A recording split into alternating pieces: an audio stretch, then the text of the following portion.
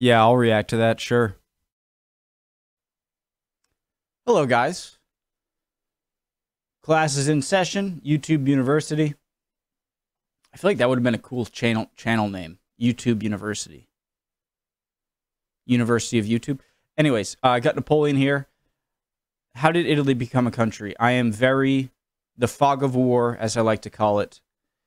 Um, that that's like my mission in terms of history on YouTube is is clearing the fog of war in my head about events and places in history that I know little about.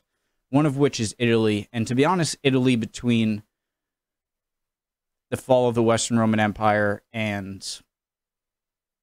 World War One. I, I just know so little, and I got to start somewhere. How it how did Italy become a country? Armchair Historian, great, cha- amazing channel. Um, got Napoleon here with us. Let's get into it. My name's Connor. If you're new, I like to watch things and do stuff on YouTube. Uh, original link to the video, top of the description below. Right below that, link to the Discord. Click on it. Send you right over there. Love to have you. Um, yeah, let's go. If you're not ready to learn, you know the drill. There's the door. I don't know if this is loud enough. On March 17, 1861, Italy, after centuries of invasion and internal strife, was finally united under one king. But why was it this period in particular that gave rise to the creation of a unified Italian state, when other European powers, such as Britain, France, and Russia, had been well established centuries prior? I'm Griffin Johnson, the armchair historian, and today we'll be discussing the topic of Italian unification. But first, today's video is sponsored by Total Battle.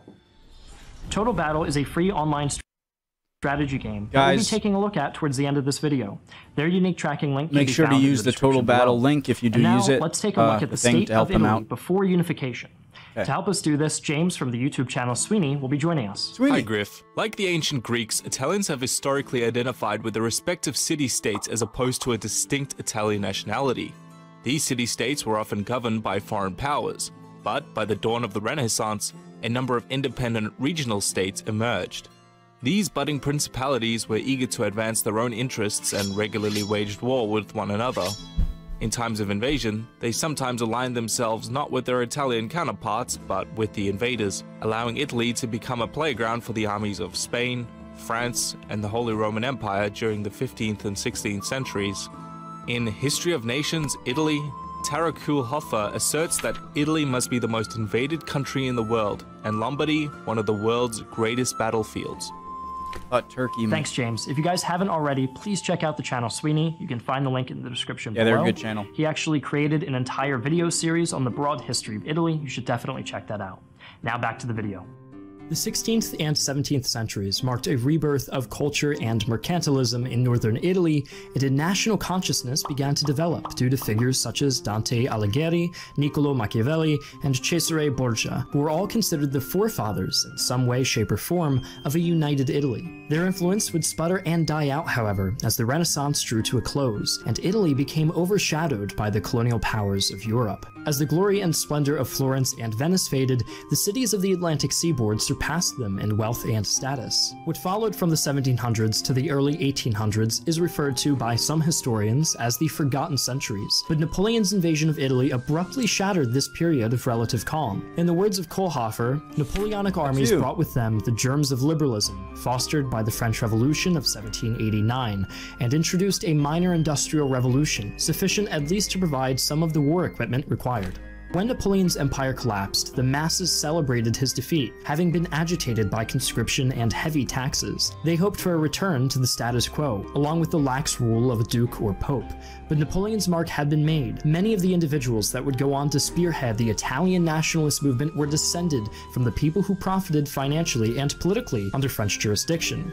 Nationalist sentiments had been stoked in this exclusive Italian social class, and secret societies began cropping up all across the nation. So what was the political landscape like after Napoleon's final exile? Well, between 1815 and 1848, Naples continued to be subjected to Bourbon rule, and Tuscany, Milan, and Venice were controlled by the Austrians. During this period, some of the Italians began to realize that the type of centralized government they had been administered by under Napoleon could improve quality of life and protect their fiscal interests to a greater degree than the Habsburg or Bourbon governments did.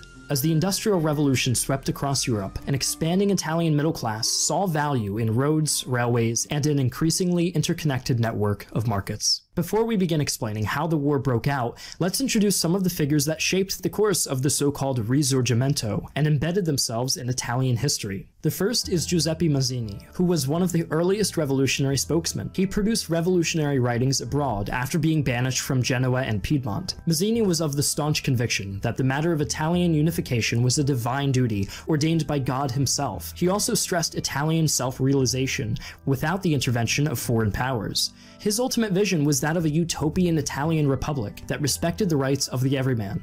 At one point, he was considered the de facto leader of the Italian revolutionary movement, but this position would be usurped by Camillo Benso, the Count of Cavour, a shrewd and, some would say, Machiavellian politician. Cavour ended up orchestrating most of the political maneuvering that led to the eventual Italian unification. By 1861, the year of Cavour's death, the only Italian territories not united under him and his liege, Victor Emmanuel II, were the city of Rome itself and Austrian-controlled Venice. The final character we'll be elaborating on is Giuseppe Garibaldi, a gruff and honest man and an accomplished guerrilla leader, whose tactical prowess made him an incredibly useful asset to the Italian struggle for independence against the Austrians. Garibaldi was known for his frugality, preferring to sleep on a straw bed and wash his own clothes, even when staying in palaces. He had a general disinterest for politics and holding office, and although he paraded around as a Republican, he became supportive of the idea of a dictatorship to force liberty on the people of Italy. All three of these Jeez. figures distrusted and intensely disliked one another, but each succeeded in advancing the cause of Italian unification, much like Alighieri, Machiavelli, and Borgia once did. In 1848, revolution in France once more spilled over in the Italian peninsula. big year. This led to the subjugated peoples of Milan and Venice to take up arms against their Austrian rulers. The Neapolitans, meanwhile, were in open revolt against the Bourbon regime that ruled their country. In recognition of this turbulent state of affairs, Charles Albert, the king of Piedmont Sardinia, declared war on Austria, which marked the official start of the First Italian War of Independence. However, the Neapolitans' early withdrawal, coupled with the disagreements with the Milanese and Piedmontese, led to an Austrian victory, and Charles Albert was forced to abdicate to Victor Emmanuel II. The Piedmontese were also forced to pay 65 million francs in reparation to Austria. But Piedmont was not deterred. A second Italian war for independence broke out in 1859 when Piedmont Sardinia managed to secure a secret defensive pact with France. Because the pact was purely defensive. Guys, it's interesting. So Corsica is a part of France, right? But it's it's interesting how Sardinia is untouched by France, and that and that's still part of Italy. The prime minister of Piedmont Sardinia at the time, resolved to provoke the Austrians into fighting. He accomplished this by stationing troops close to the border, prompting the Habsburg government to issue an ultimatum that was rejected. The war had begun. But not long after, France entered into secret negotiations with Austria, fearing the possibility of Prussian involvement. An armistice would be signed, which effectively granted Sardinia Piedmont the state of Lombardy, but ensured Austria would retain control over the central states of Italy, much to Emmanuel's dismay. This latter term was never enforced, however, and the French made no attempt to expel the Italian garrisons that then assumed control over the region since the outbreak of the war. In return for French backing, Cavour ceded Nice and Savoy to France. This decision enraged the Italians' preeminent general during the conflict, Giuseppe Garibaldi. Garibaldi promptly launched an expedition against Sicily leader. in an act of borderline mutiny, which resulted in its annexation in his name. Meanwhile, Cavour secured the incorporation of the duchies of Parma, Modena, the Grand Duchy of Tuscany, and the Papal States, with the exception of Rome. Cavour's rapid expansion forced Garibaldi to cede his control of Naples and Sicily to Emmanuel II after the Piedmontese army marched south through their newly. Guys, a question. Just it's it's interesting how far the Papal States extend. The area inside the Papal State extends um northwest and north up the Italian peninsula. Since uh, they have an army, I mean, I, I, I just wonder what governance would have been like in the northern papal states where you're so far away from the uh, Vatican itself. Acquired territories. Six years later, following the conclusion of the third and final war of Italian independence, which was part of the Austro-Prussian War, Venice was seized from the Austrians, oh, okay. and the provinces of Italy were unified under one government. But the papal state was still guarded by Napoleon III, after Napoleon lost to the Prussians during the Franco-Prussian War, however, France withdrew from Rome, and the You're... capture of Rome in 1870 ensued, fully uniting Italy. After unification, uh, sorry, I was going to make a joke because Napoleon is right there. Sorry. 1870 ensued, fully uniting Italy. After unification, the newly created state of Italy faced a number of roadblocks that stood in the way of progress. For one, the majority of the middle class and aristocracy alike had never truly been won over by the revolutionary ideals that trickled down from France.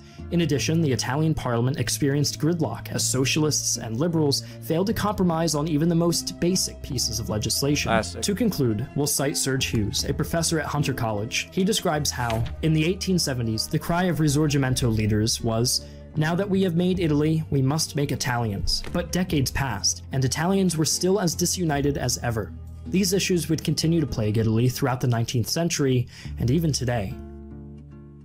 As I mentioned before, today's video is sponsored by Total Battle.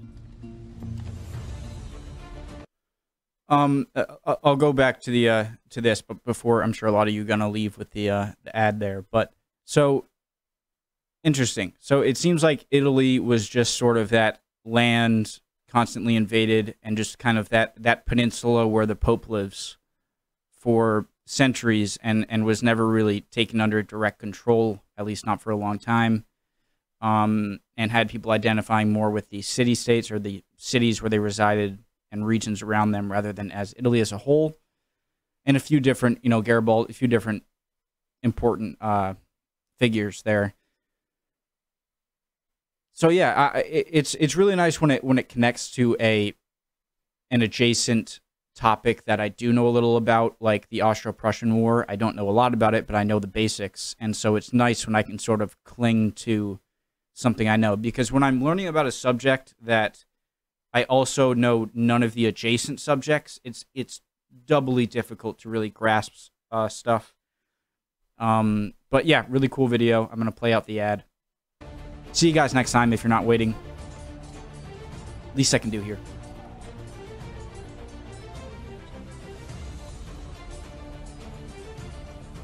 Use his link in the description if you do.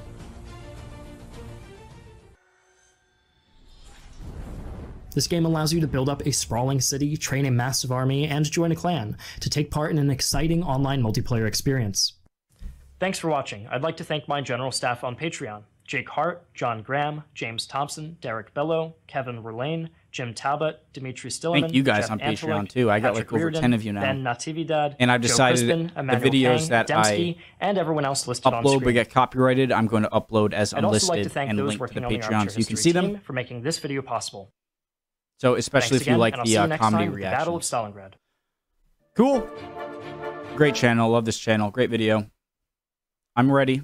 I got to go deeper in past rather than continue forward, I feel like. But uh, it was a good video to start with, despite it not being in the beginning of where I was confused about Italian history. But again, I will get into that for sure. Hope you're all doing well. If not, keep your chin up. You'll be good soon. See you next time.